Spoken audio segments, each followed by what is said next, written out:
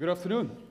Uh, first, we are a little bit ashamed. Uh, we were late with our slides, and we brought our slides Oh. on this little USB stick, and we wanted to give it to Eduardo, but we've lost it.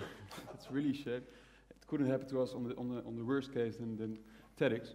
Um, but we're pretty sure that it's somewhere here in the room. Uh, it's, it's red, it has a big orange key card on it, uh, it has a little Lego brick on it. Can everybody please just check their seats if there's so- a USB stick somewhere underneath your chair? It's really embarrassing. Someone, please help us out.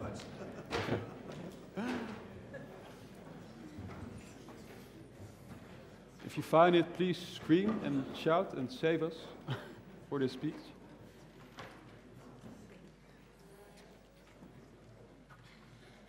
Ah, Ah, perfect. phew. Thank you very much. Here you go. Oh, you saved our day. And the audience day. No. Uh, good afternoon. Let us be honest. Let us confess something right away. Uh, we didn't lose it on, uh, by accident, actually. We wanted to show you here in real life, already on a very small scale, uh, how the power of a crowd can work for you. If we would have searched the USB stick ourselves, uh, our TEDx, TEDx talk would have probably started in 30 minutes from now. But luckily, uh, we can start already, right here. Um, so using uh, a crowd, and a crowd is called crowdsourcing. Uh, and that's going to be the topic for the next 18 minutes, uh, using people like you. Um, crowdsourcing is this fancy and modern world. It is so modern that just a few months ago, it was often mentioned as one of the biggest trends for 2013 by various prominent platforms, including Forbes and Mashable. But is crowdsourcing really that new? Is it really so new to involve other people to help you out? No. It has been with us for centuries already. The Wanted post is one of the oldest examples we could find of using a crowd so effectively to catch the bad guy. Um, yeah, and that's what we're going to talk about. I even want to take this to a next level. Level, not even a few hundred years ago, a crowd has been used, but it's in a, it is in our basic nature for like, like centuries already. Uh, good old Aristotle already put it quite catchy once. The man is a social animal. We want to share things. We want to create stuff. We want to help each other. Um, this is in our basic nature. This is amazing, right? Helping each other. Um, and the, the good news nowadays is that, is that we can do this very effectively with our modern tools. We've got social media, we've got internet. So we can make use of this great power very easily. But unfortunately, uh, using a crowd's wisdom is still not society's general way of solving problems. While at the same time, groups of people, people can help you out in all kinds of activities. For instance, giving creative ideas, uh, beautiful design, solving global challenges. Groups of people can be used for many purposes and benefits. Uh, and we've experienced from our own story that, that there are some real talented and yet undiscovered people out there who love to give their thoughts for your challenges. Take Jana. Now, Jana is a girl uh, born and raised in South Africa. And after she uh, finished high school over there, she went to the Netherlands to discover life beyond her village walls. Now, you have to know that Jana has a real passion for arts. Um, as a kid, she was always drawing and painting, and at the age of six, she actually won her first drawing contest. And as the years followed, more prizes followed. So for Jana, it became very clear that this passion should be her study as well. She had to study arts, and she did. But unfortunately, things didn't go as, as expected for Jana. Uh, in her third year, she couldn't afford her study tuition anymore, and she had to drop out. Uh, the result was that she had to take this job as a uh, postman, or better, postwoman, you might say, uh, just to be able to pay her rent and her bread every day. Uh, thankfully, Jana didn't give up on her passion, and she kept on designing every night on this very small desk in her attic. Uh, and continuously, she kept on designing in crowdsourcing challenges online, just to improve her skill night after night. This was the moment that our paths crossed as well. Uh, two years ago, we wanted to give crowdsourcing a larger spotlight in the Netherlands, so we decided to write a book about it. Um, and following the practice what you preach wisdom, we decided to crowdsource our book cover. Uh, so we put this contest on Boomer and Create, this Dutch crowdsourcing platform, and within three weeks, 189 contributions came in. Most of them were really remarkable, uh, but there was this one cover that really stood out of the crowd. And oddly enough, it was a cover created by this young, unknown girl uh, that was delivering mail as a profession. Very weird. Uh, that was the moment that we really felt the power of crowdsourcing. This young unknown girl that, that, that, that, that fought for a stage, that wanted to expose her talents to clients like ourselves, uh, beating actual professionals as an amateur. Uh, we're very glad to say that things turned out very well for Jana in the end. After winning other contests as well, uh, she actually quit her job at the postal office and is now a full-time designer, uh, designing for cool clients like Heineken and Jack Daniels. Well, I think the story of Tim tells us one thing, something we all know already, but are closing our eyes for obliviously. And that is there's a new marketplace. It's big and it's huge and it's untapped so far. And that is the C2B marketplace. There's so many possibilities. There's so many people online and offline who are willing to create, who are, can make things beautiful together. But so far, we have blindly focusing on the potentials on the business to business and the business to consumer possibilities, and which is a great shame. Because normally, if you have a problem, you want an expert to fix it. Eh? If there's something wrong, you ask the expert. If there's a ghost around, who are you going to call? The Ghostbusters. But if you act and think in this way, you will miss out on the opportunities the C2B marketplace has. And you will miss out a lot of knowledge that is out there. Because the knowledge you have, the knowledge you have access to, is not just the knowledge you possess. That's only 0.5% of all the knowledge you have access to. 0.5%, that's not much. so I wanted to change that. I wanted to build a model, a construct for everybody uh, to use in general settings to how to crowdsource, how to make use of the power of the crowd. But back then, I only had experience in the advertising industry and not in all the other industries. And that's actually when I met Tim, because he done research about the phenomenon in different settings. So back then, uh, he said to me, uh, let's make this model and write a book about it. But you must know I'm dyslexic, so writing a book is not really uh, my cup of tea. So, uh, so uh, but he was very convincing. So what happened? Uh, he convinced me, and we start writing a book, and I said, all we need is a good editor. But all the editor needed was a lot of ink. a lot of ink. As you can see, every page, more and more ink. But it was during this writing, we did a discovery we did not expect. We were into crowdsourcing, and we knew a lot about it. But this we did not realize so far, and we want to share this today on this stage with you. And that is that uh, every sector and every department within that sector, crowdsourcing can be of help. Even the most important themes in life, the themes that shape our lives, the fundaments, you could say. Now, this is quite a statement. Yeah, so our hopes and dreams is to build this movement. Uh, a change where people open their eyes and discover how great the world can be if you just open up and involve other people. Standing here on this TEDx stage is already a great honor in our journey so far, but you are still far from our goal. Uh, involving people makes much sense in all kinds of activities uh, to solve crises and to boost the world as we know it today. Just involve people on ideas on local and global challenges. Uh, and doing that will influence actually all of these nine themes above, all of these nine fundaments in society. Now, we have our own ideas of how every one of this fundament of society can be improved by crowdsourcing. And we really wanted to share that on stage here with you. But unfortunately, Eduardo said, like, no, that's not possible. Time-wise, we really can't do that. No, no, no, you're not going to get 30 minutes. No. So we decided to uh, pick only four that we're going to explain as examples of how crowdsourcing can benefit the society. Please get ready, because we're about to change the worlds of our business economics, healthcare, social environment, and employment. But one at a time. So we're going to start with business and economics. So far in economics, the main thing we want to do is to create value. But think about it. How does value comes about? When do you become relevant? Well, the answer is really simple. It's only when the consumer is interactive with you. In the perspective of economics, when the consumer is not interactive with you, you cannot create value. It is not concealed by the recipe you have. It might be a great recipe to make Coca-Cola, but the value is not concealed in the recipe. And it's also not produced in the manufacturing. and it's also not created by an ad you put on it.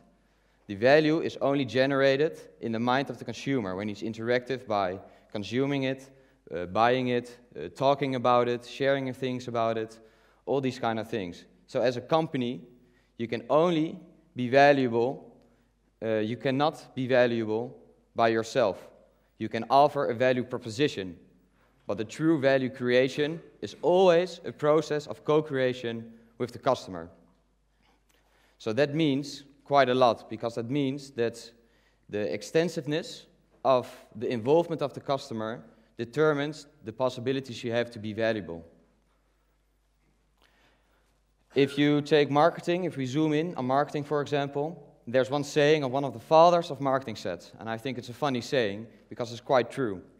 Half of the marketing budget is wasted money. However, you never know which half. Thus, you must continue wasting. Well, that is actually uh, that's actually true. but um, the thing is, if you have, for example, a marketing budget of 1 million euros a year, you would have, if you calculate it real quickly, uh, let's say 20 euros every 10 minutes. Okay, I calculated that before, but it's something like that. So you'll be wasting 10 of these 20 every moment. So for example, I think, I see in the clock, we've been talking now for around 10 minutes. So that will be, the 20 minute would be my budget. And if I would be a marketeer, it will, it will be like this, every 10 minutes. That's traditional marketing. That's how it normally works. Because, ironically, it's too expensive to be one-on-one every, with everyone. And will be too time-consuming. But now at this moment, it is possible to be interactive with your client in more effective and uh, efficient ways. Thus, it is, at this moment, it's, mo it's possible to ask what the customer wants. It wasn't possible before. So marketing now can be a game without impossibles. The noise is finally gone. Pretty tough words. Time for fundament number two, healthcare. Now, my girlfriend is a doctor. Uh, and every night, I'm trying to be this ideal boyfriend by listening to her hospital stories and to keep on motivating her. Uh, but recently, I feel this duty because she got me thinking about this idea. I just couldn't get it out of my head. A lot of patients lay in hospital for days, sometimes for weeks. In this time, between doing some tests, uh, they have a lot of time to kill time in which boredom is not a rare thing. So that made me wonder, isn't it a missed opportunity to challenge those patients more intellectually by asking them for ideas? For example, by improving them, uh, letting them improve the hospital, by posing the question, what would be the ideal waiting room in your opinion? Or perhaps a completely different question, like what would, what would be a tremendous funny stunt to do for this brand this summer? Um, I believe tapping into this intelligence and really challenging it intellectually uh, helps both the company providing the challenge, the hospital gets better, and it helps the patient because he's doing something useful with his time uh, and is given an intellectual outlet. And on higher level in education, or in education, in healthcare of course, uh, recently there was this group of scientists who developed a fun and simple game. Uh, the aim in the game was to fold this protein digitally, um, something a computer can't do, and because millions of proteins had to be folded, uh, if the team of scientists would have done this themselves, it would have costed them about 10 years' time to do so. So they, they developed this cool game, um, and eventually 57,000 gamers helped them out on this fun, exciting way, uh, delivering the desired results in just three weeks' time instead of those 10 years. Imagine how powerful a crowd can be for our healthcare if just more scientists would open up and involve groups of people on their own creative way. Fundament number three social environment and safety.